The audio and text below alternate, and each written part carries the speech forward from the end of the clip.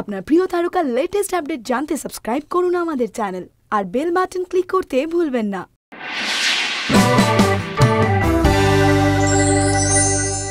Detective Ankesh Bakshi কার নাম? আগে আমার নামই ব্যোমকেশ বক্সি তবে ডিটেকটিভ নই সত্যান্বেষী সত্যের খোঁজে কম বেশি আমরা সকলেই থাকি তবে যিনি সত্যের খোঁজ জারি রাখেন সবসময় তিনিই আসল সত্যান্বেষী তিনি ব্যোমকেশ বক্সী তোমার মস্তিষ্কে তো অনেক বুদ্ধি। ধরতে পারছ না কেন? শব্দ ঢাকে শব্দে বন্ধ ঢাকে কিসে? আর নিজেকে খানিকটা বদলে ব্যোমকেশ এবার ওয়েব সিরিজে শ্রী ভেঙ্কটেশ ফিল্মস প্রযোজনা সংস্থার হইচই অ্যাপে অবশেষে নিজের পদধূলি দিলেন ব্যোমকেশ বাবু। আর এই সিরিজের প্রথম এপিসোড সকলের কাছে পৌঁছে দিতেই এদিন একসাথে দেখা গেল ব্যোমকেশ টিমের সকলকে। ব্যোমকেশ বক্সিকে এভাবে আনার মূলে মূলত যে মানুষটি, তিনি পরিচালক সায়ন্তন ঘোষাল। তাই তার থেকেই শুনে নেওয়া যাক তার ব্যোমকেশের কথা। ব্যোমকেশ চরিত্রটার মধ্যে বদল বলব না বাট আমি বলব যে এই ব্যোমকেশ একটু অন্যভাবে রিয়্যাক্ট করে। ব্যোমকেশের বডি ল্যাঙ্গুয়েজ একটু অন্যরকম। সেই অর্থে অন্যরকম। গল্পের গল্পের সাথে আমরা সেরকম কোনো গল্পের মধ্যে সেরকম কোনো চেঞ্জ আনিনি। আমরা খুব ফেথফুলি অরিজিনাল স্ক্রিপ্টটা অরিজিনাল টেক্সটটাকে ফলো করেছি। এখনকার জেনারেশন তারা এত ফাস্ট পেস জিনিস দেখে অভ্যস্ত, তাদের আঙুলের ডগায় ইউটিউব আছে, অন্য অন্য আরও অনেক প্ল্যাটফর্ম আছে, যেখানে আমার এটা ভালো লাগল না, আমি সঙ্গে সঙ্গে অন্য কিছু চলে গেলাম। তো তাদের অ্যাটেনশনটা হোল্ড করাটা খুব ডিফিকাল্ট হয়ে দাঁড়িয়েছে। সেগুলোর কথা মাথায় রেখে আমরা ট্রিটমেন্ট ওয়াইজ মেকিং ওয়াইজ অন্যরকম করেছি বাট আদারওয়াইজ গল্পতে সেরকম বিশেষ কোনো চেঞ্জ নেই। এই ব্যোমকেশ আরও বেশি তীক্ষ্ণ। যার কাছে গোয়েন্দা শব্দটা বড়ই খারাপ। ডিটেকটিভ শব্দটা শুনতে ভালো নয় আর গোয়েন্দা শব্দটা আরও খারাপ। কিন্তু যার শান্ত গভীর চাহনি এক পলকে ধূলিসাৎ করে দিতে পারে যে কোনো দূরভিসন্ধি। তিনি অনির্বাণ ভট্টাচার্য।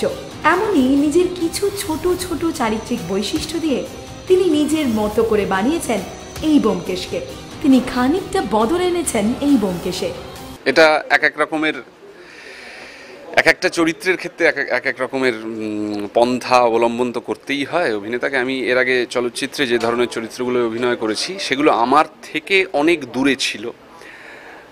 ব্যোমকেশও আমার থেকে অনেক দূরে। আমি ব্যোমকেশের মতো বুদ্ধিমান এবং অত এর ট্যালেন্টেড লোক নই।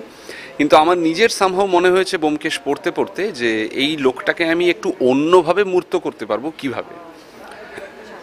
সেক্ষেত্রে আমার মনে হয়েছে যে আমি নিজের নিজের কিছু জিনিস যদি এই ব্যোমকেশের মধ্যে ঢোকাই, নিজের উইট নিজের নিজের অ্যানিমসিটি নিজের ইনস্যানিটি যদি একটু একটু করে ঢুকিয়ে দিই, তাহলে হয়তো আমি আর ব্যোমকেশ মিলে একটা কিছু তৈরি হতে পারে যেটা হয়তো একটা মজা তৈরি করতে পারে।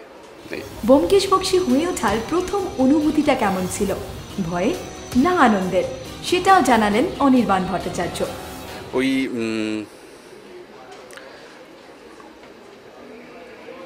দুটো একই সাথে হয়েছিল। বুঝলে তো?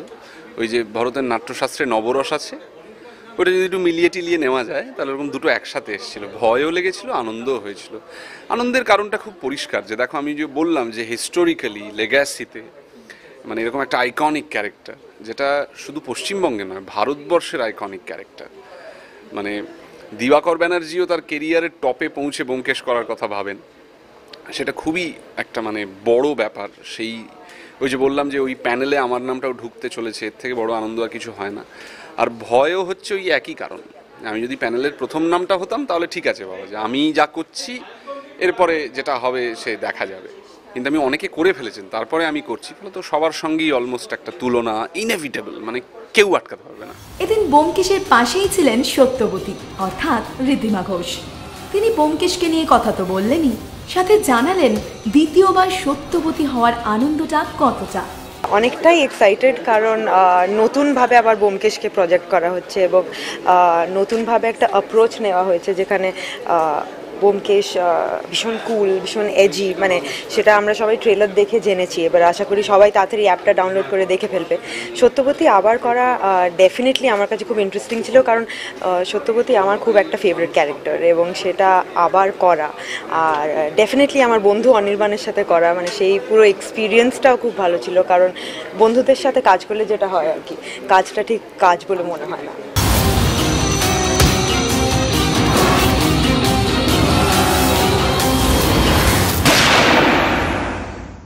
আপনার প্রিয় তারকার লেটেস্ট আপডেট জানতে সাবস্ক্রাইব করুন আমাদের চ্যানেল আর বেল বাটন ক্লিক করতে ভুলবেন না।